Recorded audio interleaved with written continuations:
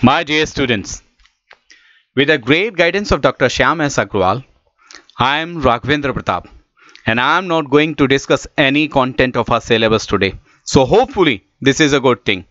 But here at this platform I am sharing something which touched my soul and I do feel and expect it will touch to your soul as well. So for the better connectivity, I want all of you to listen me once but with your all senses, not just with your ears. I know all of you are suffocated due to an unexpected lockdown where life as well as its movements has a limit which is neither accepted by you nor by anyone's. But think once once more. Is the sky closed for us? Is the air not giving us the breath of life? Is the sun and rain not approaching us like earlier? Is the time not giving its every single minute and second to us? Have our modern gadgets loosened their efficiency? Are we weak with our physical strength? Are we lost with our mental ability? The answer is no. The sky is still open for us like our earlier days, but we are finding our sight locked to see the same sky. The air is pure than ever in your life and in the life of your past generation even. The rays of the sun are approaching us with more shine than ever. The time is same as earlier even, with more efficiency to give us every single minute and second. But this time is bothering us with too much of availability. Our gadgets have become more close to us. But we are finding this wrong during these days. We are with a storage of physical strength, but not finding it within ourselves. We are in the state of utilizing our mental ability to its highest peak, but not realizing it.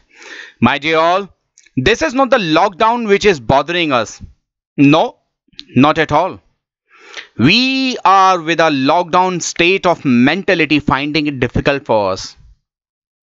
Please, my dear all, understand this state of opportunity to strengthen your mental ability more as you will never get such a time in future. When we talk about personality, with the first thought it comes with appearance. But the thing which is more responsible to make a personality that is our thoughts and the thought process. We have a very much great time in our hand to follow which we were not able to do earlier due to the less number of hours a day and this is just a kind of complaint from anyone everyone in the reality thought process was responsible to move Stephen Hawkins while being disabled almost for the life thought process was responsible to make Einstein the greatest scientist thought process was responsible to make Purna the youngest girl in the world to scale Mount Everest at the age of only 13 years. Here some of you must be thinking we too can do the same. But for your kind information, too much cold is as dangerous as fire. Thought process was responsible to make Sachin Tendulkar a master blaster to face the fastest bowler of the world at the age of only 16 year and 205 days.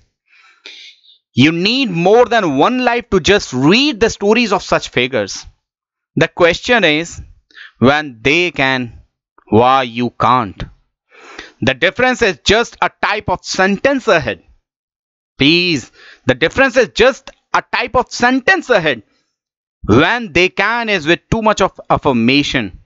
Why you can't is with a question of doubt. You just need to replace you with they. Please think about this what I said. You just need to replace you with they. I'm sure all of you have heard a series named Game of Thrones. But I do call this a game of thoughts. Thoughts make an individual a figure of known. Thoughts make you realize your value. Thoughts give you the reason of your existence. Thoughts make you believe on the cycle of life. And at the last, just one thing. I do believe on my thoughts firmly.